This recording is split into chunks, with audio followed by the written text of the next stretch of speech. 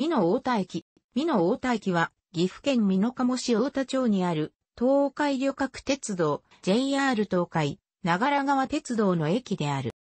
美濃加茂市の代表駅である。駅名の由来は、開業当時の町名である、加茂郡太田町による。太田町は1954年、昭和29年に、当時の周辺町村と合併して、美濃加茂市となった。そのため、現在は、氏名と代表駅の名とが異なっている。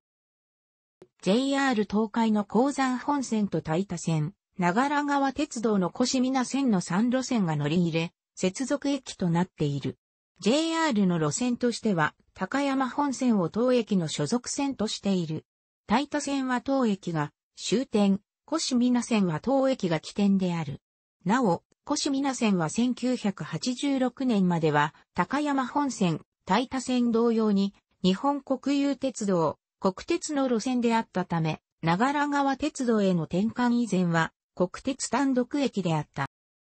JR 線はすべての特急、ワイドビューヒダが停車する1990年代前半頃は一往復通過していた。2001年、平成13年9月30日まではワイドビュー飛騨と名古屋鉄道新名古屋駅から乗り入れていたディーゼル特急北アルプスが当駅で増解決と乗務員交代を行っていた。また、当駅から岐阜方面は大田線の列車が乗り入れるため本数が増え、大田線及び岐阜行きの普通列車は1時間1から2本程度運転される。長良川鉄道は終日普通列車が1時間に1から2本運転されている。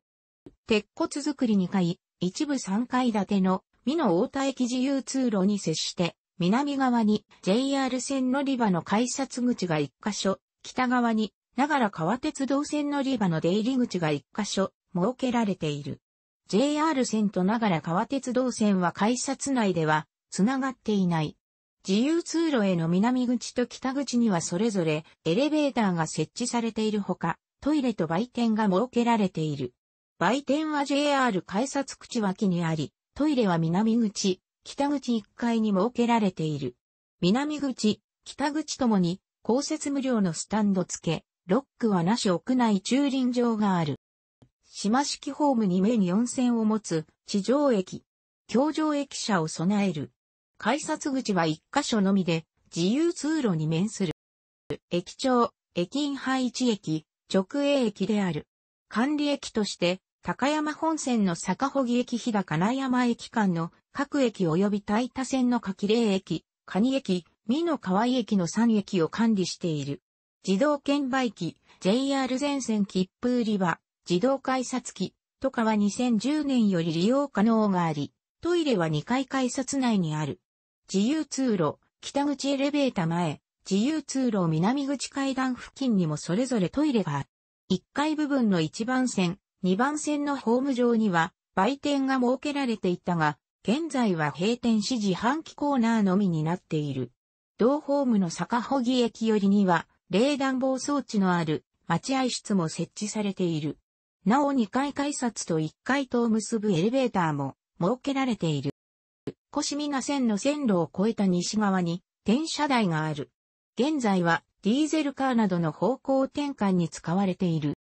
特急、ワイドビューヒダは、下り、高山方面は3番線、上り、名古屋方面は2番線に入線する。